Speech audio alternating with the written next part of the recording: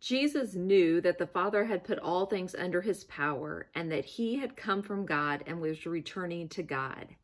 Jesus knew who he was, and he wants you to know who you are too. You know, this scripture is from John chapter 13, and this is when Jesus is going to wash the disciples' feet you know, that seems like something that, you know, a servant would do, someone who, um, you know, really wasn't anybody, wasn't, you know, um, didn't have any clout or anything. And yet Jesus was so confident in who he was that he did this. He did this and showed us, you know, how to live. But the, the thing that I want to focus on is Jesus knew who he was. He was confident in who he was and in what he came to do.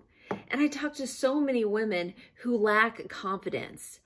And, you know, oftentimes it's based on um, uh, you know, just insecurities and inadequacies and so much about how we feel that we look, um, you know, our body size and we want to lose weight. And if only we could lose weight, then we would gain the attention, you know, of people, whether to have friends or a boyfriend or, you know, eventually a husband. But the thing is, we don't need those things. Those are not the things that give us confidence. What we need to know is whose we are.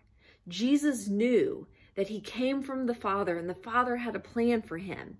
And the same goes for us, for you and for me. We came from the Father. He has a plan for each one of us. He loves you so much. Let's not blame our lack of confidence on our body size, nor um, base our confidence on our body size. You know, we've lost weight, we feel good, we look good, we're confident.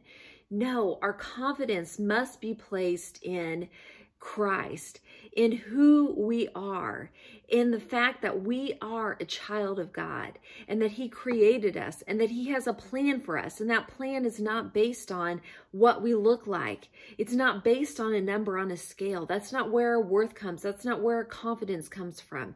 It comes from who he made us to be. It comes from knowing that we are a child of God, that you are a child of God.